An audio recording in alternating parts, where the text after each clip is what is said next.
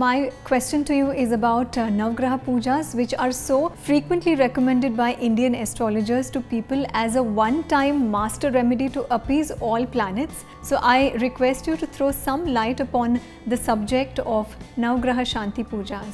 Any major yajna, any major puja always accompanies Navagraha Puja. Whether it is Vastu Puja, Vastu Shanti, it is wedding or it is housewarming, Griha Pravesh or any pujas.